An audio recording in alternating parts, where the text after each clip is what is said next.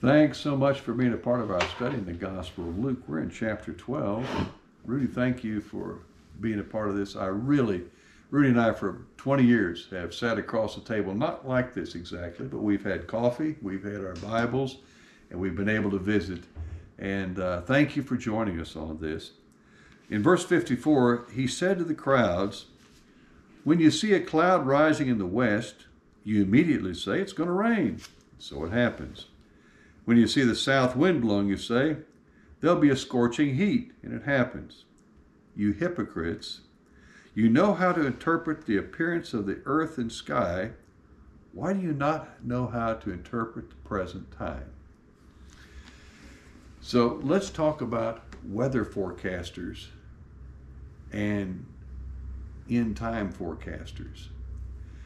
Um, so weather forecasters know how to interpret what's going to happen, whether they're complete with all of their Doppler radio, radio radar, radar. Thank you, or all that, or whether they were just people who could look at the clouds and tell, versus the signs of the times. So, Rudy, why don't you talk a little bit about that for us?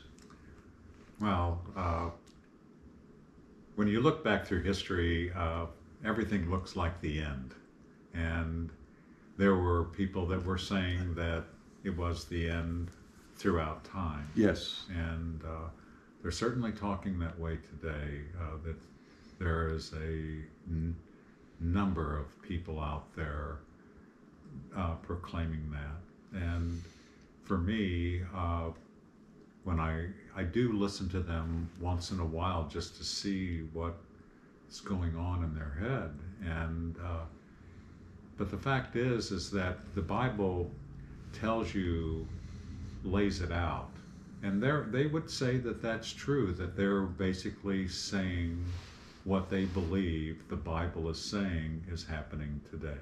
Yeah. The one thing is, is that uh, the sacrificial system hasn't started in Jerusalem yet. And Daniel is told plainly, and Ezekiel is told plainly that the sacrificial system will be restarted. Yeah.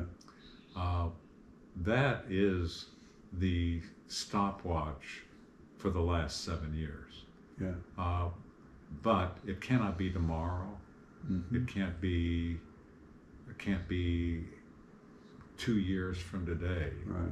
Because the eternal clock uh, is as perfect as as the moon cycling the earth. Yeah. It's as perfect as the constellations. Yeah. Uh, so the one thing that we do know is Jesus is near. Yeah. And uh, I always thought I'm kind of like one of the witnesses in the Gospel of Luke that uh, I would be here to see him come back. Yeah. Uh, not so sure any longer. Sure. Sure. But uh, it doesn't break my faith. Uh, what it does is kind of what we were talking about a couple of days ago. I just I want to make it better for the people that are here on the end because I I have seen or felt the anguish in the earth at the end. Yeah. It's good. It will be hard to handle. Yeah. And God was going to ha- God will have to encourage everybody to be able to withstand that. Yeah.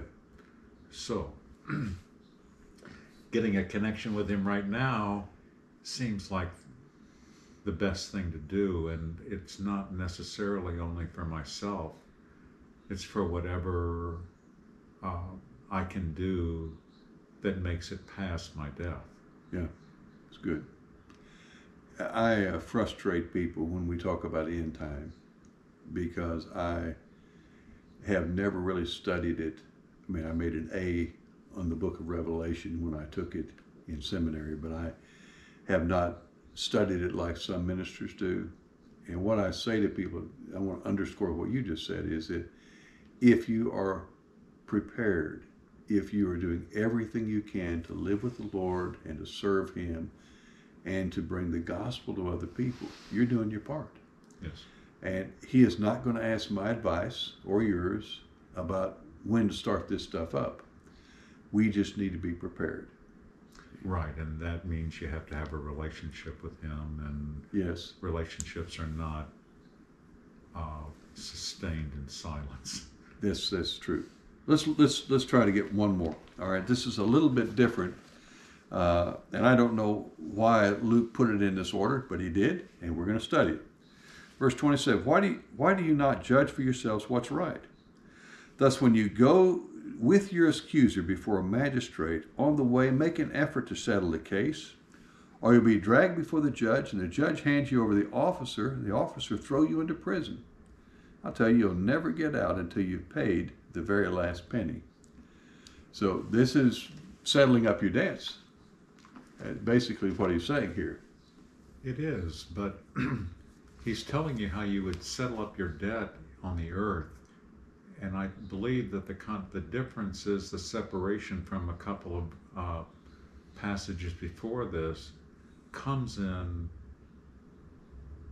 what belongs to the world will stay here. What belongs to the kingdom lasts forever. And why are you fighting over stuff that is not eternal? Yeah, why not make your peace on the way to court because you know that it's not eternal yeah, and uh, you know it has you know i know what happens to me when i forgive somebody Mm-hmm. and it's just not lip service i forgive you yeah, but when i forgive them the newsreel in my mind's eye stops twirling. Yeah, because when that's going on, I just keep getting better and better and more right all the time. But on the way to court, if I really forgive them and do what they ask, then really that part of anxiety, that uh, thing that keeps dr- seeing, making, forcing me to think about myself, uh, is taken away, and I'm very thankful forgive us our sins as we forgive those who sin against us. Uh, right, you, you basically, you're asking the Lord to forgive you the way that you forgive. I remember Josh and I talking about that one time, and we both decided we couldn't stand the consequence of not forgiving. that's right. So there are times when I actually, that's where the rubber meets the road for me. Yeah, I, I have to forgive him because I can't stand the consequences of not, and I really don't want to. sure. So Yeah.